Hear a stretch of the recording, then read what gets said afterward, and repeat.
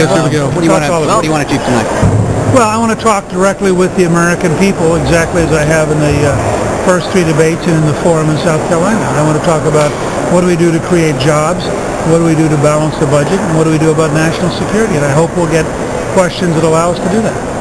Social Security is going to be a big issue again tonight, I feel. Uh, how would you uh, fix the problem, or does the problem need fixing? Of course the problem needs fixing. When, the, when President Obama twice in July threatens to not pay Social Security checks, you know leaving politicians in charge is wrong.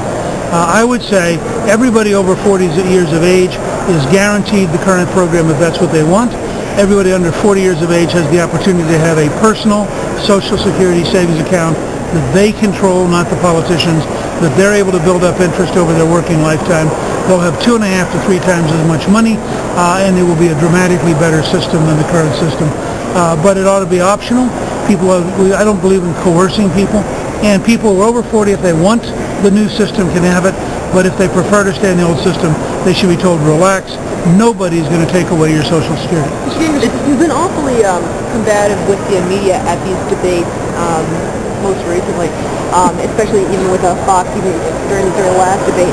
Um, how do you plan on really going into the Well, look, I, you know? Wolf Blitzer told me after the last debate that he was surprised I didn't attack him. and I said, Wolf, I, I said, Wolf, you, I thought you did a very fair debate.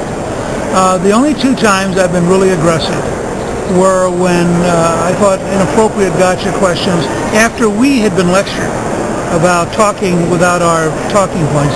Uh, and then second was when the MSNBC debate went way out of its way to try to pick a fight between Perry and Romney. Perry and Romney will get into fights on their own. We don't need the news media deci- defining for us an effort to divide the Republican Party and protect Barack Obama. Also, Should the two of them be Florida- fighting? Should- should the two of them be fighting?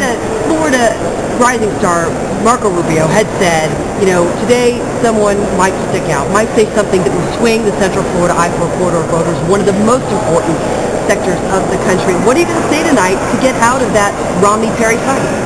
I'm not going to worry about it. I think people, frankly, are going to be pretty bored pretty fast. With, you know, they don't want candidates who sound like seventh graders arguing with each other. They want candidates who look at, at, at what's happening in America, offer real solutions, focus in a positive way on talking to American people. Look at Marco's campaign for the Senate.